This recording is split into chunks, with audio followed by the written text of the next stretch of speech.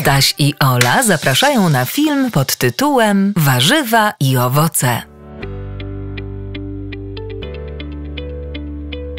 Zobacz, jaka ogromna piramida! Ciekawe, jakie skarby ukrywa. Wejdźmy do środka. Jak tu kolorowo! Zobacz, na tym piętrze są warzywa i owoce. Zaczynamy przygodę! Warzywa i owoce to podstawa diety. Dzieci powinny je jeść kilka razy dziennie.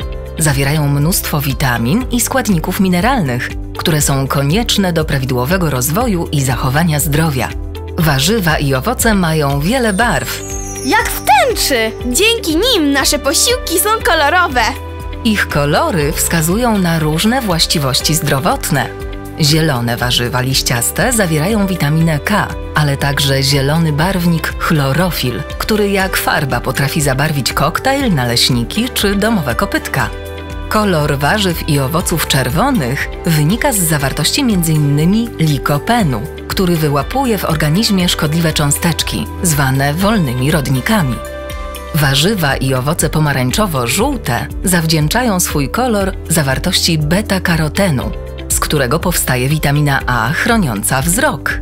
Kolor fioletowych warzyw i owoców jest związany z antocyjanami, które jak wojownicy walczą z wolnymi rodnikami i działają przeciwnowotworowo.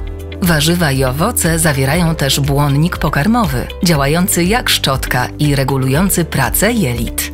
Dlaczego jest tu więcej warzyw niż owoców? Dzieci powinny jeść więcej warzyw niż owoców, ponieważ warzywa zawierają mniej cukru i mają mniej kalorii. Można je jeść na surowo, gotowane lub pieczone. A ile owoców i warzyw powinniśmy jeść w ciągu dnia? Co najmniej 5 porcji.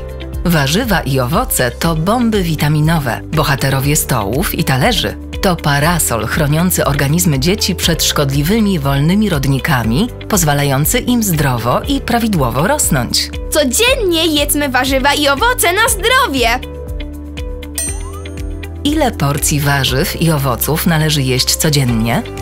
Czego powinno się jeść więcej w ciągu dnia owoców czy warzyw? Jakie kolory mogą mieć warzywa?